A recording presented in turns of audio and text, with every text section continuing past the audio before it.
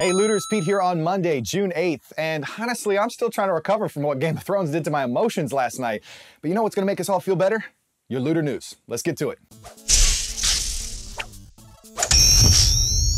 So William Shatner, aka Captain James Tiberius Kirk of the USS Enterprise, is getting set to start on a new mission to explore strange new worlds, seek out new life and new civilizations, and boldly go where no man has gone before. Kind of. It's actually a very popular highway. The STARS Trek is raising awareness for the American Legion by driving across the country on a three-wheel rivet motorcycle built by American Wrench.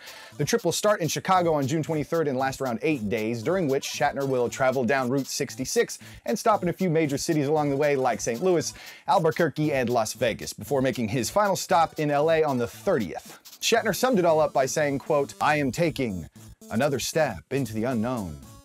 A phenomenal bike made by American Wrench and a 2,400 mile journey where the road holds the big mystery.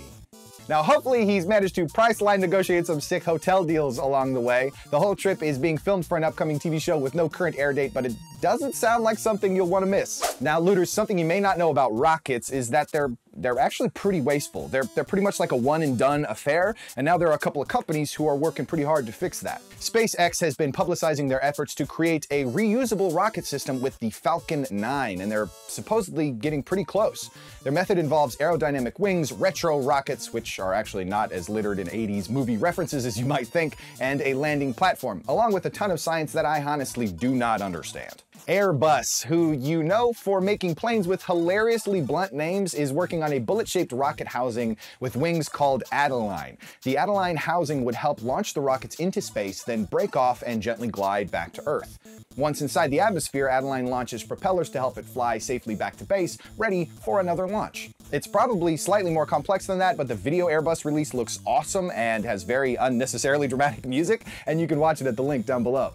And naturally, about now, you're wondering what it looks like when a rocket does fall back to Earth. And SpaceX has you covered there with some amazing GoPro footage from the Falcon 9's descent. Basically, there's a ton of rolling and the sun is crazy bright, so, you know, if you ever become an astronaut, pack your Ray-Bans. You can see that video down below as well. All right, looters, thanks for joining us for another amazing episode of Looter News. Are you excited to watch the elderly Captain Kirk tricycle his way across the nation? And did you prefer the SpaceX live-action video to the Airbus CG projection? Let us know your thoughts in the comments down down below for a chance to win three months of loot. And as always, click that big, beautiful subscribe button too. You guessed it, subscribe. We'll see you Wednesday.